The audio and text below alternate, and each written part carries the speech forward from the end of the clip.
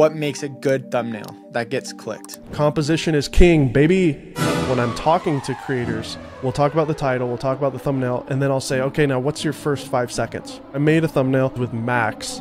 It's an image of him with a cow, with a police officer, and then you click the video, and right away you're confirmed he's literally walking around the streets of London with a cow, with a beer in his hand. And it is an immediate payoff.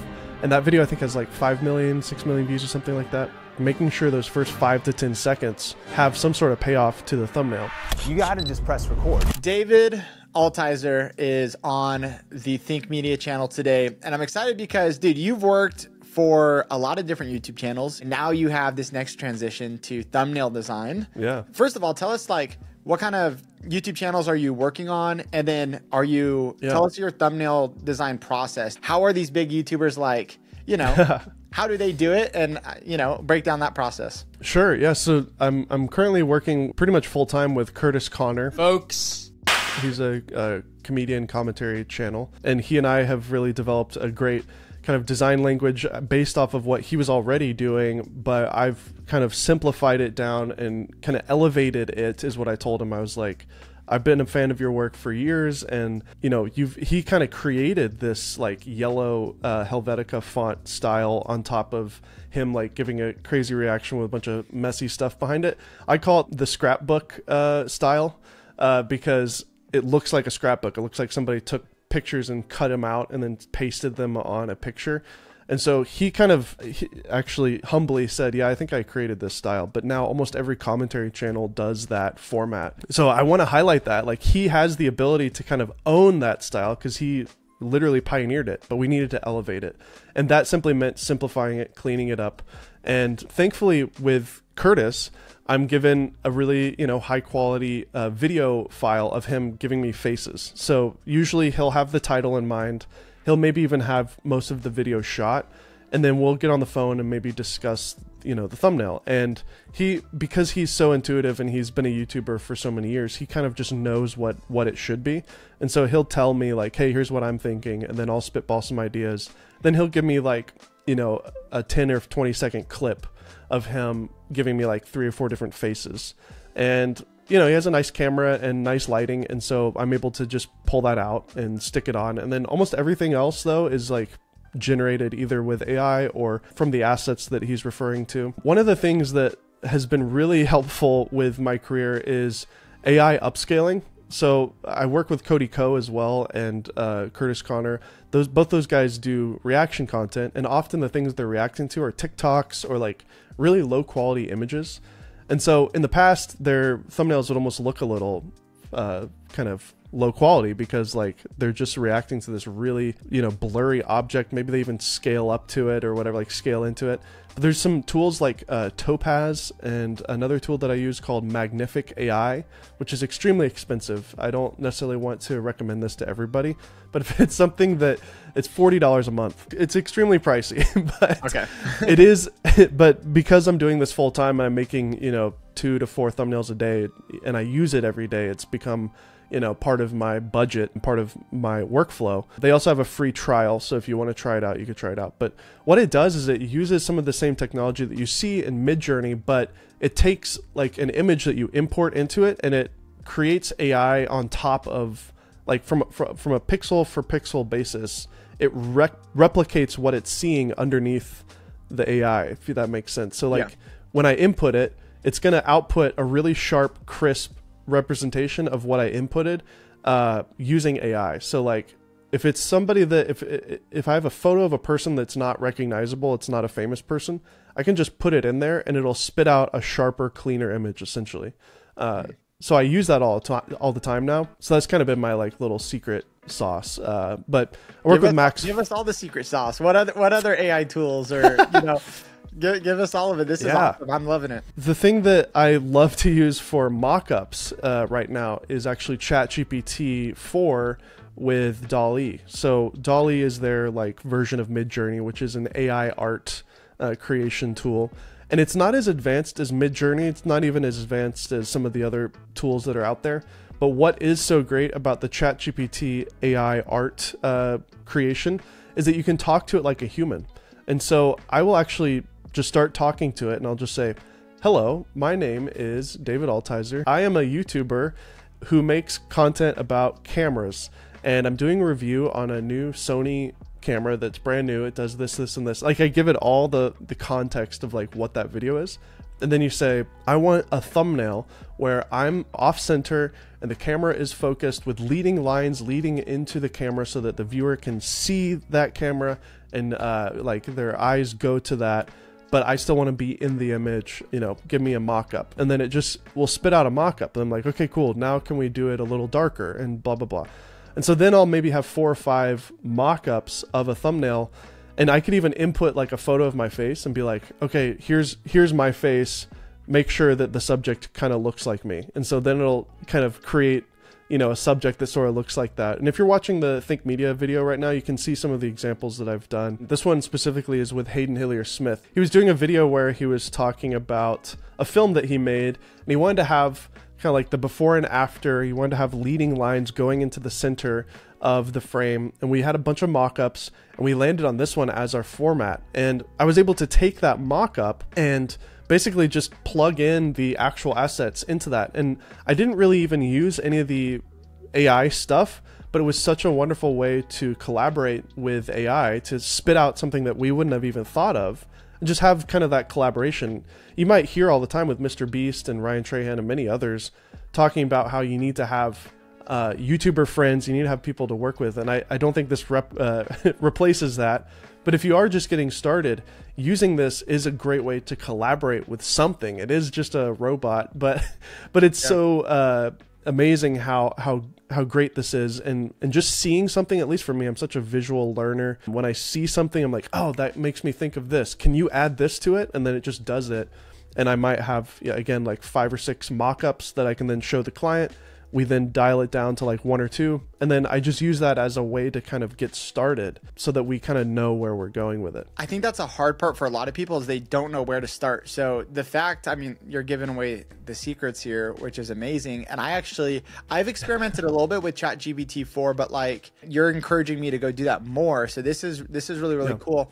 Are there any other prompts that you do because you're really just using this to get ideas right? That's the ultimate mm-hmm. goal is you're trying to you're trying to spark inspiration on how to actually you know compose and set up the thumbnail. Is that right? Correct yeah and, and every once in a while i will create backgrounds uh, using ai midjourney is better but you know what's funny about midjourney is it's so advanced uh, now that it looks very photoreal and it starts to do what you were talking about earlier about how like there's so many little details that you have to remove.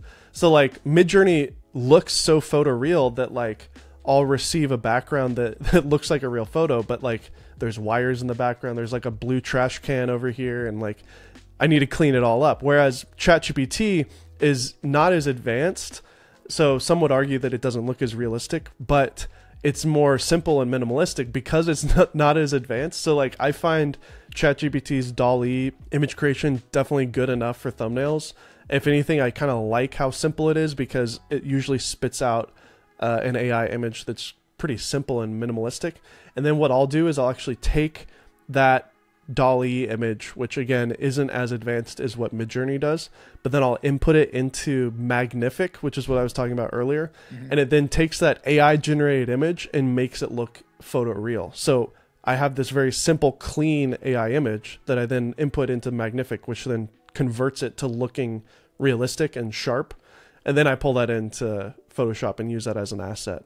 That's super cool. I love that. Hey, real quick, I want to shout out today's sponsor, vidyo.ai. vidyo.ai is a tool where you can upload your long form videos or podcasts and it will automatically chop it up for you to repurpose into shorts and clips with customizable animated captions and brand kits. My favorite way to use this tool is for finding podcast clips that we can upload to our YouTube channel. I simply upload a video and then it breaks down the entire conversation so that I can skim through the topics to find something that would make a great clip. This saves me a ton of time so I don't have to rewatch the entire podcast looking for good clips. From here, all I need to do is edit it how I would like, export it, and then upload it to our YouTube channel. Now, if you want to give it a try, check out the link in the description of this video. I do want to talk about what makes a good thumbnail.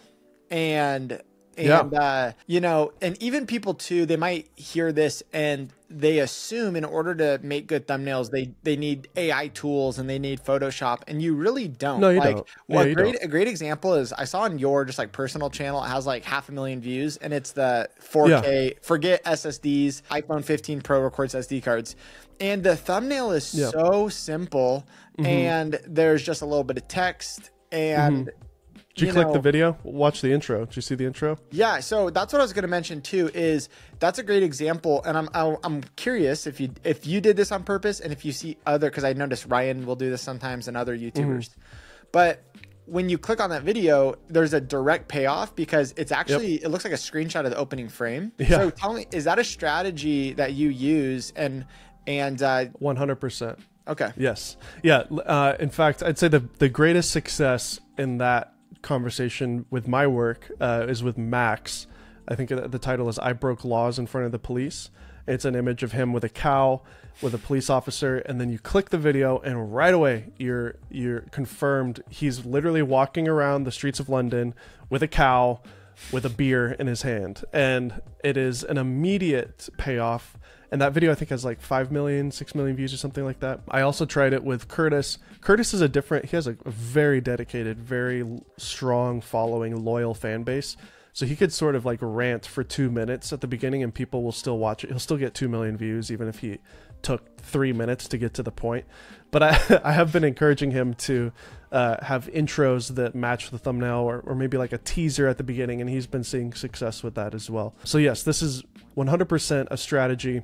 And one of the things I forgot to bring up when I'm talking to creators is we'll talk about the title, we'll talk about the thumbnail, and then I'll say, okay, now what's your first five seconds?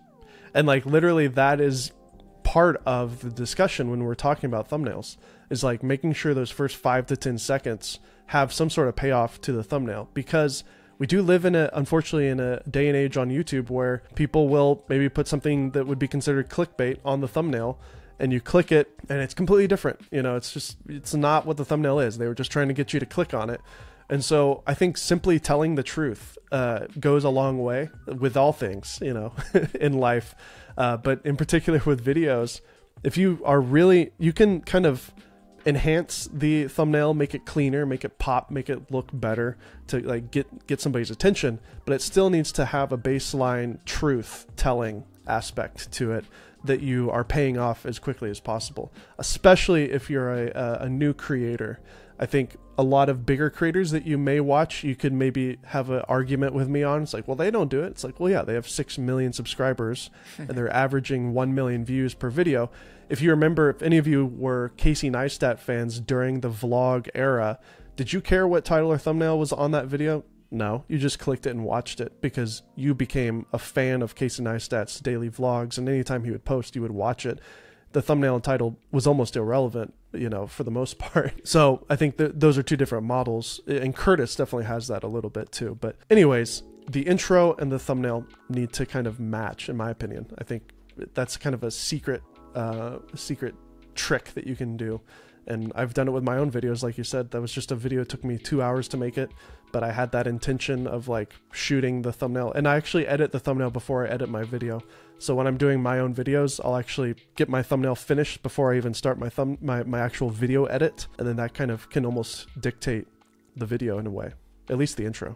Yeah, that's really good. What are other tips you have on what makes a good thumbnail that gets clicked? composition is king baby so composition is is king for all things when it comes to cinematography when it comes to photography when it comes to fine art.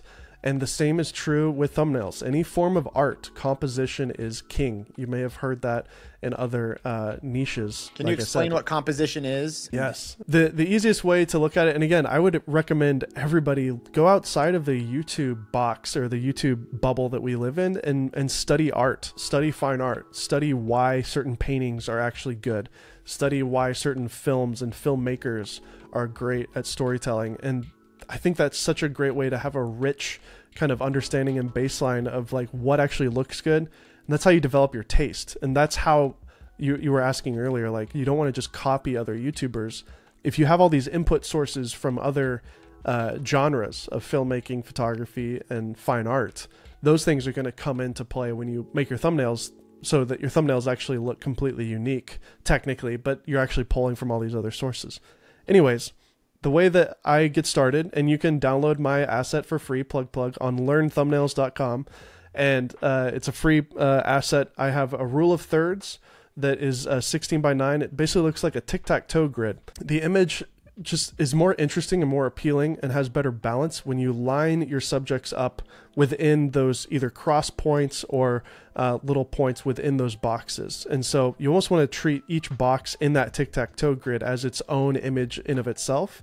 And having an understanding of, of image balance is really important too. So, for example, if I had a bunch of the weight of the image. I'm saying that in air quotes, but if I had like the subject on the right hand side of the image and I had like a car on the right, but then there was just a big sky on the left and it was just empty, the image would feel lopsided. It would feel like all the weight of the image is on the right. And so you can you want to balance that out almost as if all the objects in your frame are on a scale. You balance that out by maybe putting a big piece of text on the left that they can then be a size that sort of matches what's on the right hand side and that starts to balance the frame. Or you move your subject into the middle you move all the objects on the right and then you have text on the top left or something like that. The asset pack that i'm giving away for free too also includes the time code uh, in the right scaling and the rounded edges that youtube has as well. So if you haven't noticed right now youtube rounds all the corners of your thumbnail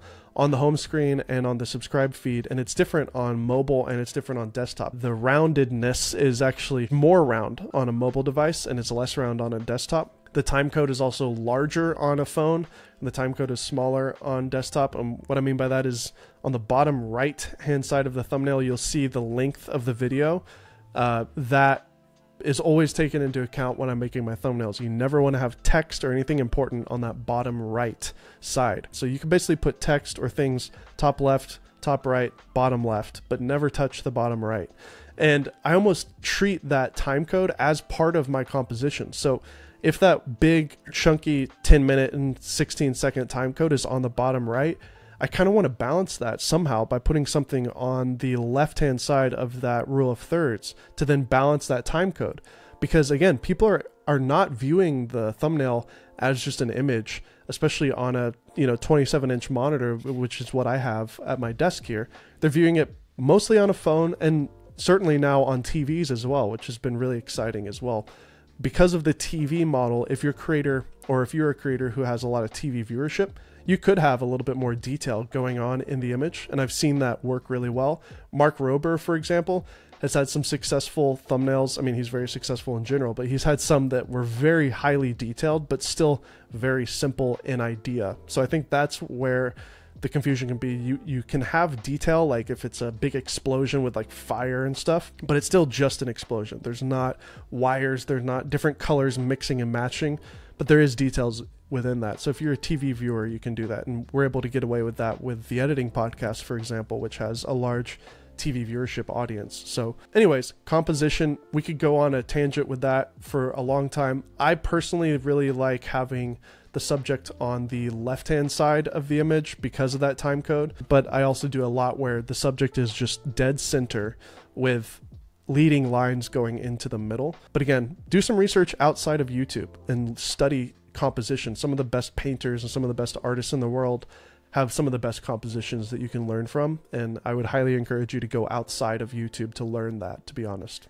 It's funny because I've heard people say the opposite of they enjoy putting or prefer putting the the face on the right hand side, like you see in the Mr. Beast Reacts videos, because the time code just kind of covers like maybe like the neck or the shirt, or, something. something. Yeah, no, that works too. Yeah, that totally works. I've done that with Kurtis.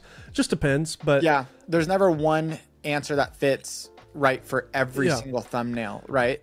Depending on your audience, you know, we read left to right. So in America and in the English speaking, in most countries read left to right. It just depends on like what you want them to see first. Mm. So in the Beast Reacts, you can sort of on your peripheral see that it's Beast, so you know exactly what it is. It's the same face every time too, so like there's nothing there. But for Kurtis, like his audience is so dedicated to Kurtis that like I kind of want people to just see Kurtis's face first because as soon as they see it, they'll probably just click on it. But but if he's reacting to something wacky and crazy, that is like going to get a, cl- a click, then maybe I'll put that off to the left, you know? So that's how I'm thinking about it is like, what do you want them to see first? Because we read left to right, they may actually see that left hand rule of third first. So if it's the game that you want the focus to be on, then put that on the left. If it's the creator, then put them on the left. You know, with Cody Ko, he's always on the left for the most part. What, what do you think about text on a thumbnail? When should people use text or arrows or certain circles, elements like that? And when should they not use text on, on a thumbnail? So I think you and I would would be in agreement on keeping things as simple and uh, minimal as possible. So uh, Jerry Seinfeld has this famous quote where he says that when he's writing a joke, he takes one word out at a time until the joke doesn't make any sense anymore, and then he puts that last word back in. So I think that should be the same philosophy when you're creating a thumbnail, and especially with text. How many words can you remove before it doesn't make sense anymore? So like even if you can just have one word, mm. that would be great. You know, why is a good one with a question mark, or how or uh, you know those are, are good because they can they can play off of whatever title you have to create some sort of open loop that makes people want to click. So i would just keep it simple you know find a font that you really like that is clean and bold but maybe even something that that not many creators are using so that you can start to kind of own that font in a way you know Trahan has kind of owned that like very simple helvetica font style and many others are, are using it i would I would have just encouraged other creators to, yeah, you can be inspired by Trahan, but maybe find a different font that looks a little different. That way you can start to kind of use that as part of your branding. But I would keep it to like a minimum of, you know, or a maximum of like three to four words if you can. Again, Kurtis has done more words because sometimes he'll have like a whole sentence there. I don't know if how effective that is to be completely honest. It's just what he does. I usually do the whole edit for Kurtis and then he'll actually do the text himself because we found we were going back and forth a lot where he'd be like, put this, no, put this, uh, move it over to the left. I was like, how about this? I'll just give you the clean image. You do the you do the text. So that's our working relationship. So you can get away with more. It just depends on the context, but I'd say good rule of thumb is keep it like under four words. And as far as arrows and circles, I don't use those as much as I used to. I think that might be it, again, it depends on the niche. I think for you with your basketball stuff, like the arrows and circles make a lot of sense because you could almost not even have any text. It's just pointing to something or circling something. So yeah, it just depends on the niche really, but I don't use a lot of arrows and circles. One thing too I think most people get wrong in the beginning is they just put the title for text in their thumbnail. And what you yes. need to realize is I like to think of my title and my thumbnail as like a union or like a combo punch, a combo mm-hmm. attack. Mm-hmm. And so usually most people look at the thumbnail first. It catches their eye and then they read the title which gives more context to what they're looking at. And so that's how I mm-hmm. kind of like to approach things and I'm curious your thoughts too because we'll see yeah. you know people in our community a lot of times are just putting the same exact title in text. And if you actually add something that is completely different and can spark curiosity, make them look at the image, and then when they read the title, now they have maybe the context of what they're clicking. But how do you? Yeah. Is there any you know tips like that on how you approach? just that combination yeah i would actually add to that and say that the first five to ten seconds is also part of that same union because if you if you're successful in having a good title and thumbnail and they're like looking at it on their phone for a second, it's going to start auto playing as well. And so you've even noticed if you look at even the most recent Mr. Beast videos, he's removed all of the uh, kind of big, bold uh, text at the beginning where it's like captioning because the auto captioning kicks in on the autoplay. And if you have a bunch of text going on on the video, with the closed captioning as well, it kind of is disorienting. So I've even noticed he'll actually turn off the captioning when he does go to the bold text on the frame, and then it'll kick back in when he stops using that. So you can actually finagle that and kind of tweak it if you do have text on like embedded in the video itself. That being said, that's you know that's beast in that style, but I would keep all three of those things in mind uh, as part of your strategy. But um, absolutely, you don't want to repeat the uh, the title in the thumbnail. Just Like if if this is the first time you're hearing that, from this point forward, don't ever do that. Like just just don't. Okay. so uh, and just like use your imagination on like what I can add to this, whether it's a question that you can ask that can play off of that title, whether it's um you know how many days you tried it or like i don't know. It's just when you're coming up with your titles and thumbnails think about both of them together. And when i'm writing out my ideas in apple notes i'll like i'll type the title out and then in parentheses i'll put whatever two or three word text that i'm going to put there in like a parenthesis so uh, on the thumbnail. So it's like you really want to think of both. And to be honest i think it takes a lot of courage and a lot of boldness to not put text. And I would encourage you to maybe even consider trying that because one of the things that can really make you stand out is by simply doing what everybody else isn't doing. And I've seen success on a couple of thumbnails that I've done where it was very focused, very simple. The one I'm thinking of right now is uh, I did a thumbnail for Frame Voyager where it was uh, Cillian Murphy and he was just in the middle uh, I had like some Inception stuff going on behind him, and I had some cool uh, like atomic bomb stuff from Oppenheimer behind him.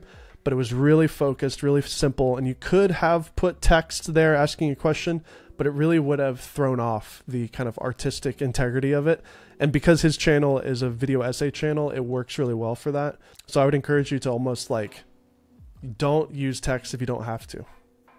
So good. This was a master class on YouTube thumbnails. You gave us a, all the secrets. Thanks for coming on, David. Where can people find you and learn more about thumbnails and hang out with you? Yeah, well, I started a, a new channel called Learn Thumbnails where I'm going to be going over all of these things and more, uh, some of the work that I've done, and, and I'm I'm starting that up. Uh, I feel encouraged by uh, the support of Nolan and many others. So I'm building a whole business around thumbnails, and it's all based around learnthumbnails.com. So be on the lookout for that. I'm most active on Twitter, and many other uh, thumbnail artists are active on Twitter. So if you want to learn from other thumbnail artists, join us every Thursday. We have a thing called Thumbnail Thursday on Twitter Spaces and you can jump in and uh, be a part of that conversation. We've got some amazing thumbnail artists who work for Airrack, Trahan, many others who are on the speaker panel, and we'll we'll talk each week about thumbnails, about the work that we're doing, and then we open it up to roasting at the end, where you, we roast your thumbnails and give tips and tricks. So follow me on Twitter at DVD Altizer.